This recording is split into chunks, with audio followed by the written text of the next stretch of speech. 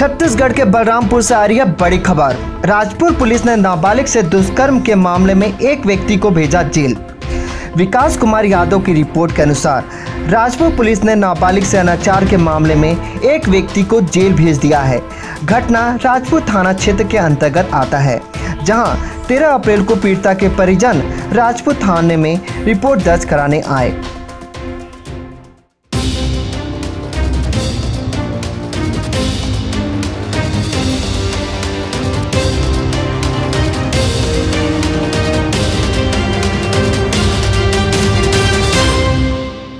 बलरामपुर मरियम पारा निवासी 23 वर्षीय पंकज तिर्की पिता मोहन साय तिर्की 12 अप्रैल को दिन में करीबन एक बजे पीड़िता के घर आया था और उस दौरान आरोपी ने पीड़िता से कहा कि मैं तुमको पसंद करता हूँ, तुम सोच कर बताना।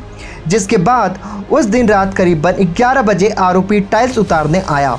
टाइल्स उतारते देर होने पर पंकज तिर्की रात के करीबन दो बजे पीड़िता के कमरे में कंबल लेने के बहाने गया और दरवाज़ा बंद कर पीड़िता के साथ ज़बरदस्ती अनाचार किया। राजपुर पुलिस ने पीड़िता के परिजन की रिपोर्ट पर अपराध पंजीबद्ध करते हुए मामले को विवेचना में लिया है। राजपुर पुलिस के पुलिस अधीक्षक रामकृष्ण साहू, अतिरिक्त पुलिस अधीक्षक प्रशांत कतलम एवं पुलिस अनुभागीय अधिकारी मनोज तिर्की के मार्गदर्शन में कार्रवाई करते हुए मुखबिर की सूचना पर आरोपी पंकज तिर्की को हिरासत में लेकर पूछताछ की, जिसमें आरोपी ने अपना जुर्म कबूल किया।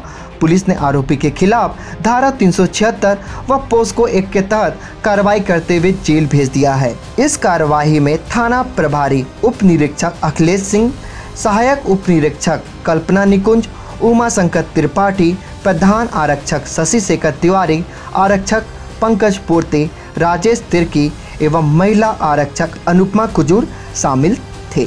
इसी तरह की जानकारी के लिए बने रहिए तब पब्लिक न्यूज़ 24 के साथ। अगर आपको ये वीडियो पसंद आया तो लाइक एंड शेयर करना न भूलें।